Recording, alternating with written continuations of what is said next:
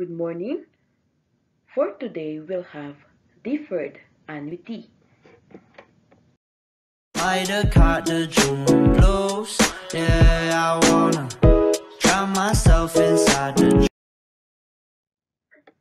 And what do you mean by deferred annuity?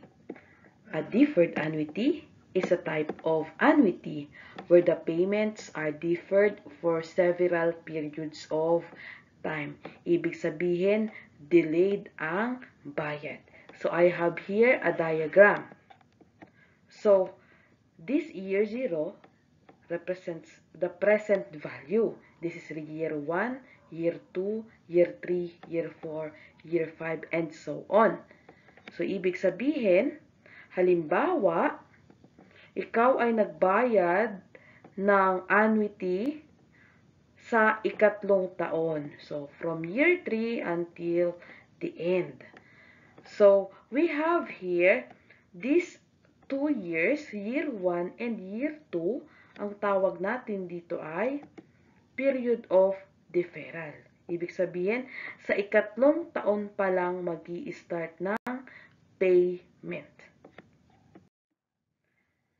And what do you call the period of referral? Period of refer deferral is the time between the purchase of an annuity and the start of the payments for the deferred annuity. So, ibig sabihin,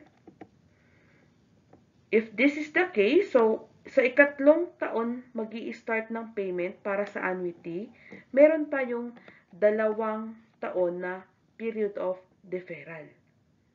Or, sa dalawang taon na to, hindi muna magbabayad. Sa ikatlong taon, mag start ng bayad ng 1,000. Now, let us find the period of deferral of the following. Number 1, annual payments of 100,000 for 10 years that will start 3 years from now. Ibig sabihin, ang ating pagbabayad ay magsisimula pa lang after ng dalawang periods or dalawang taon. Kasi sa ikatlong taon pa lang mag start ng payment. So may dalawang taon tayong deferred uh, period or delayed period ng pagbabayad. Number 2, monthly payments of 3,000 for 5 years that will start 5 months from now. So, since 5 months, mayroon tayong 4 periods or 4 months na period of deferral. Ibig sabihin, may apat na buwan tayo na hindi muna magbabayad. Kasi sa ikalimang buwan pa lang mag start yung inyong payment ng 3,000. Next, we have semi-annual payments of 1.5 for 12 years that will start 3 years from now. So, I have here a diagram. So, remember class, when you say semi-annual, we will divide the 1 year into 2. So, meaning to say, if this is the starting period, and this is year 1, nag-divide tayo ng dalawa kasi semi-annual. And then, this is year 2, and year 3. So remember, kapag may from 0, from the starting period going to 1 year, we have 2 periods because we are talking about semi-annual.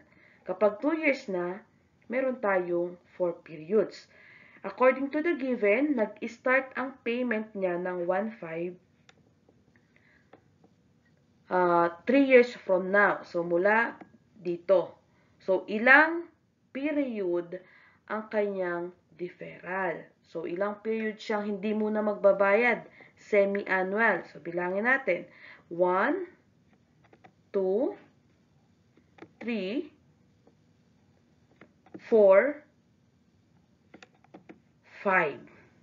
Okay. So, ibig sabihin, 5 periods or 5 semi-annual intervals ang kanyang period of deferral. Now let us have the fourth one. So here, we have quarterly payments of 15,000 for 8 years that will start 4 years from now. So, dapat nating i-take note na kapag sinabing quarterly, ang isang taon ay hahatiin natin sa apat. So, here, from the starting period until the end of year 1, ay hinati natin ito sa 4 parts or 4 quarters. Ganun din sa year 2. So, ibig sabihin, from the starting period up to year 2, we have already 8 quarters. And from the starting period until the year 3, we have 12 quarters. So, nagbayad siya 4 years from now. So, dito na siya nagbayad. So, ibig sabihin, ilang quarters or ilang period siyang hindi nagbayad or na-delay. So, bilangin natin mula sa pinakang dulo. So, we have 1, 2, 3, 4, 5, six, seven, eight, nine, ten, eleven, twelve, thirteen, fourteen, fifteen. So, meaning to say, we have 15 periods or 15 quarters. Number 5. Payments of 4,000 every 2 years for 16 years starting at the end of 10 years. Ibig sabihin, nag-start ang payment niya sa end ng year 10. Okay? At nagbabayad siya ng 4,000 tuwing ikalawang taon. So, ibig sabihin, year 2, nagbayad, hindi siya, nagbayad siya, yan, tuwing ikalawang taon. So, ibig sabihin, ilang periods yung delayed niya kasi dapat every 2 years. So, we have here, four periods or four-year interval because we have one, two, three, four periods here. Now let us have the formula for finding the present value of deferred annuity. And that is equal to annuity multiplied by 1 minus 1 plus i raised to negative n all over i multiplied by 1 plus i raised to negative k. So, yung i natin ay makukuha kapag pinag-divide ang rate and then ang period. Samantalang yung n dito ay makukuha kapag pinag-multiply ang period at term. Itong k dito, itong k natin dito, that is a period of deferral. Now let us have an example. Mr. A wants to receive a consistently amount from a bank that offers 6% interest to be compounded annually if he will delay his withdrawal for the first 5 years. How much should he deposit now to receive 100,000 pesos every year for the next 10 years after the period of deferral. So let us find out the given. So we have the rate is 0.06. Saan galing po? So ito, yan. This is the decimal form of 6%, 0.06. Next is your period. Okay? and that is uh, coming from here annually. That is equal to 1. And then, K or the period of deferral. So, mag start or i-delay na yung kanyang withdrawal for 5 years.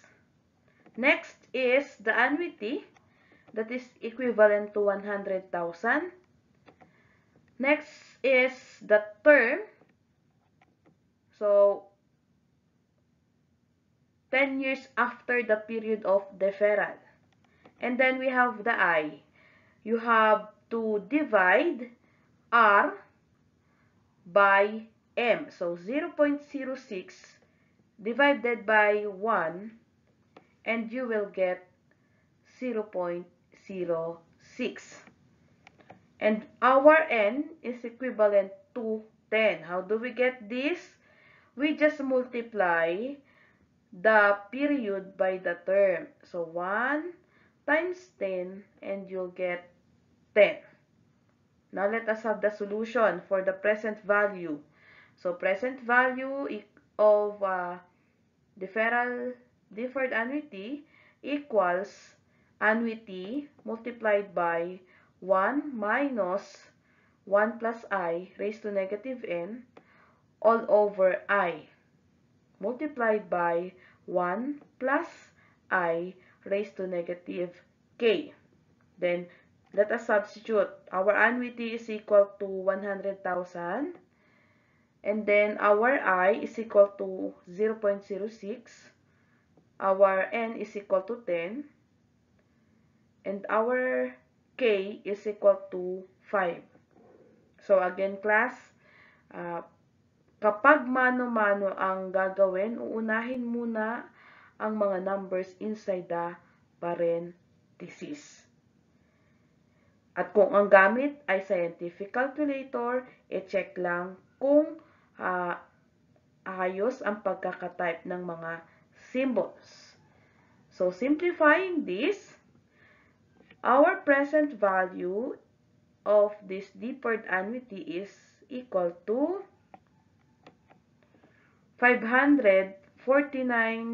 549,988 and 52 centavos.